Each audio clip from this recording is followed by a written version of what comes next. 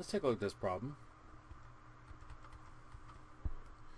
Given the probability of A is equal to 0.5 and probability of B is equal to 0.3 if probability of A given B is equal to 0.1 then we want to find a probability of A and B.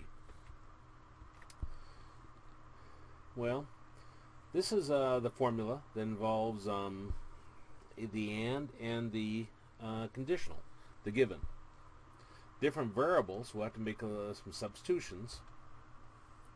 Now here we got probability of A given B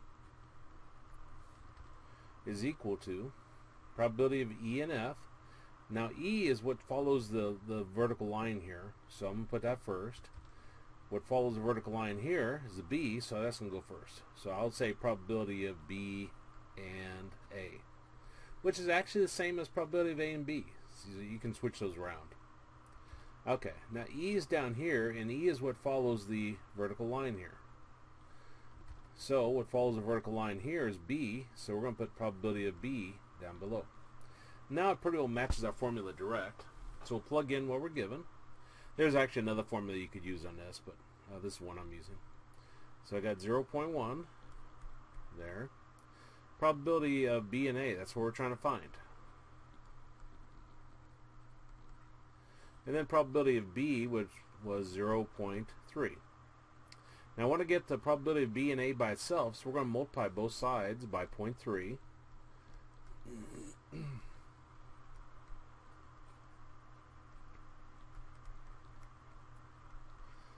And when we do that, those prob those point threes will cancel. Excuse me, my voice is going. And we're left with probability of B and A equals, and I'm not very good at decimals, but I think that's uh, 0.03 for to plug in our calculator. 3 times 1 is 3, and then uh, there's two de one decimal place here, one decimal place here, so this has to have two decimal places. So that'd be our answer.